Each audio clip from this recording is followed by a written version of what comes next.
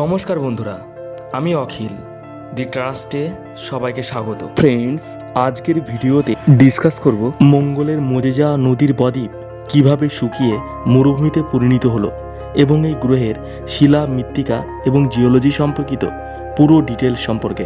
অর্থাৎ এই ক্ষেত্রে ভিডিওটি প্রথম থেকে শেষ পর্যন্ত দেখবেন।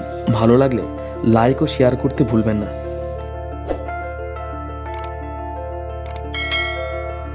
আজ থেকে চারশো কোটি বছর আগে এক বিশাল গ্রহাণুর সাথে মঙ্গল গ্রহে সংঘর্ষ হয়।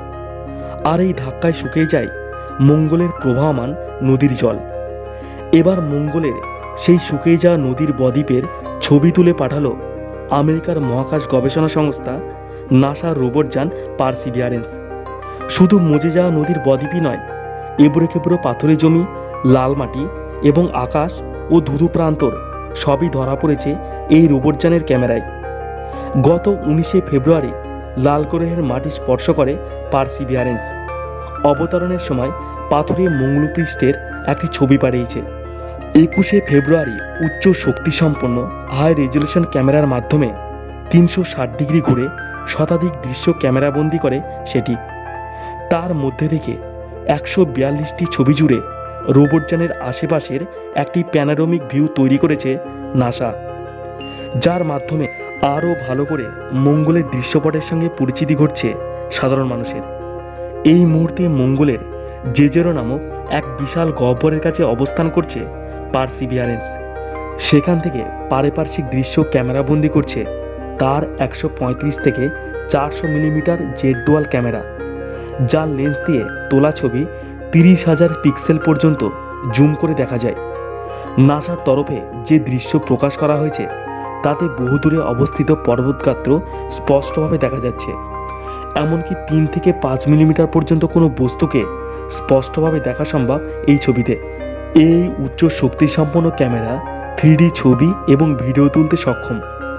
নাসার তরফে জানানো হয়েছে, মঙ্গল পৃষ্ঠ থেকে কোন ধরনের নুড়ি এবং পাথর পরীক্ষার জন্য পৃথিবীতে আনা হবে তা নির্ধারণ করবে ওই ক্যামেরার মাধ্যমে।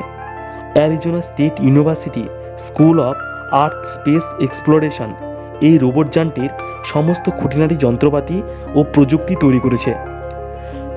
কোটি বছর আগে মঙ্গলে প্রাণের অস্তিত্ব ছিল কিনা তা জানতে উনিশে ফেব্রুয়ারি মঙ্গলের মাটি স্পর্শ করে নাসার এই রোবটযানটি আগামী কয়েক বছর মাটি ঘুরে সেখান থেকে পাথর, জীবাশ্ম এবং মাটির নানা নমুনা সংগ্রহ করে দু হাজার ত্রিশ সাল নাগাদ পৃথিবীতে পাঠানোই এটির প্রধান কাজ।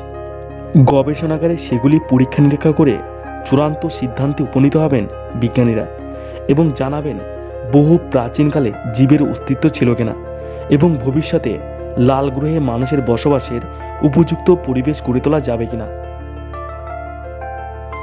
বন্ধুরা, আজকের ভিডিওটি এই পর্যন্তই। ভিডিওটি কেমন লাগল কমেন্ট বক্সে অবশ্যই জানাবে এবং ভালো লাগলে লাইক ও শেয়ার করবে এবং সাবস্ক্রাইব করবে।